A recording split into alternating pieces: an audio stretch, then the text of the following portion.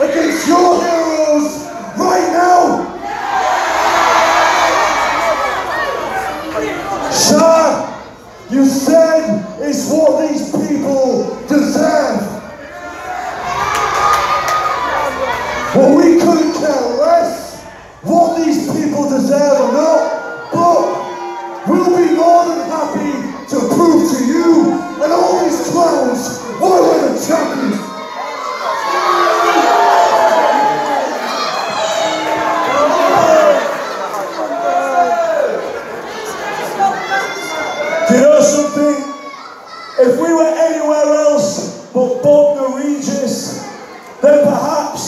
would have defended these championship belts.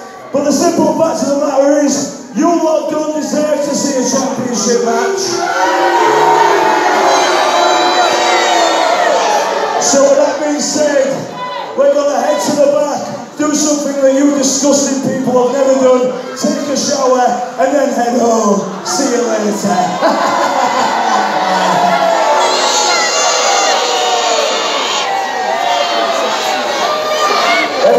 stop this right now.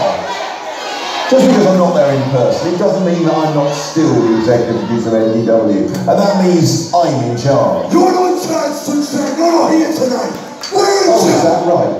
Let's put this to the test right now. Cut his microphone off. Okay. Now that I have your undivided attention, here's what's going to happen.